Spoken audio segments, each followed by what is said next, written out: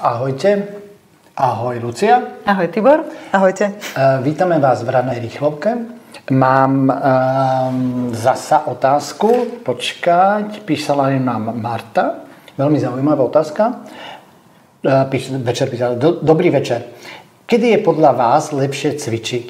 Tri bodky. Ráno okolo 6. Fíha, skoro stáva. Alebo po obede okolo 6. večer.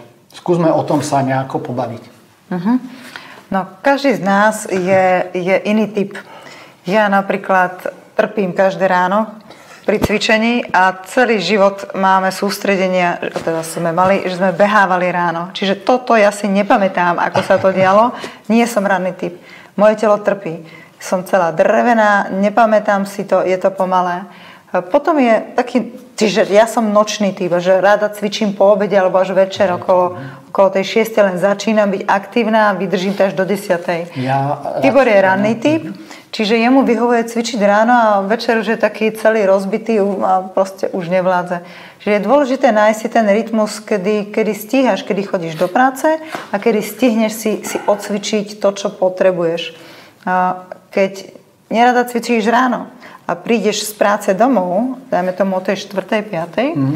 tak mohla by si to skúsiť vtedy, že nenajem sa, nenajem sa, ale rýchlo si zacvičím to, čo mám, čo, čo proste potrebujem, aby som sa prepla z pracovného módu do módu, že som doma.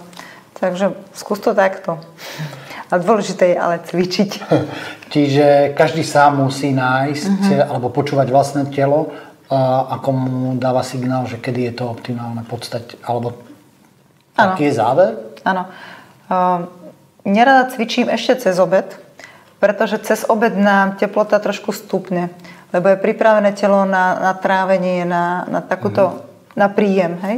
Čiže cez obed to ako neodporúčam a neodporúčam cvičiť ešte v noci. Dáme tomu, že niekto ide a ide behať od 10. večer do 12. To uh-huh. už by som neodporúčala. To telo už je zase pripravené, aj keď my to možno takto necítime, je pripravené na spánok. Čiže na regeneráciu, že tam je vhodnejšie uh-huh. regenerovať. Čiže ten čas, uh-huh. keď sme v práci, je vhodné aj cvičiť. Dobre, ďakujem ti, ľudská. A ja vám tiež ďakujem. Prajeme vám čo? Krásny deň. Ahojte. Ahoj.